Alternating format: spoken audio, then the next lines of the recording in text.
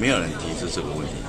昨天那个蔡委员在那个蔡他他也后来在脸书上，他还特别澄清，他的意思不是这样子。有委员要希望那个总统不要连任二零二零，这你怎么看？没有人提出这个问题。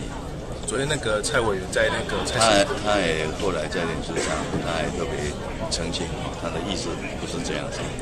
好，我想，谁适合来当这个呃民进党的党主席才是重点。我想没有前提，声望够啊，领导力够，那么了解问题，能够解决问题，才是我们带领民进党向前走最佳的。